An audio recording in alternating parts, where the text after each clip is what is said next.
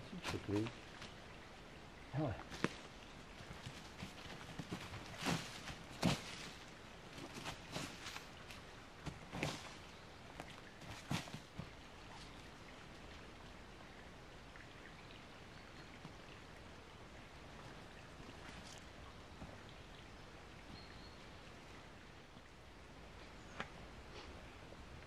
S dovolením, pane, pane Filip.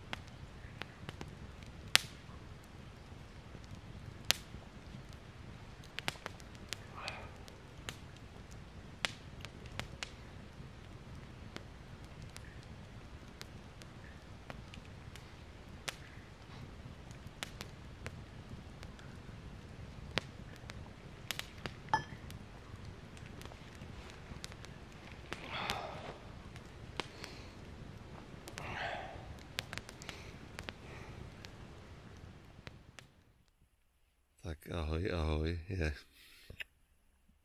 chvilka po půlnoci a Filipek mě asi po třetí probudil. Protože tady nahoře, jak je teplá noc, může být tak 15 stupňů, řvou jelení, jenom dva zatím.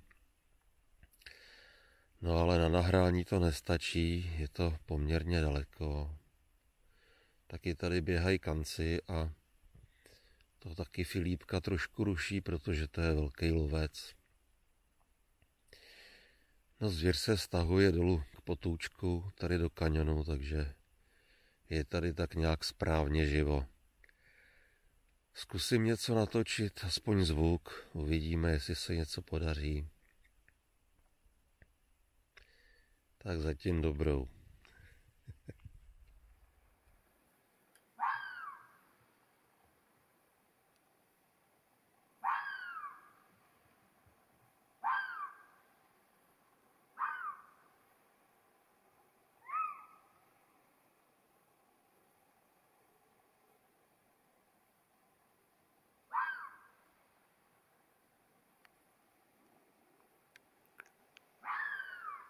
Tak tady máme hejkala.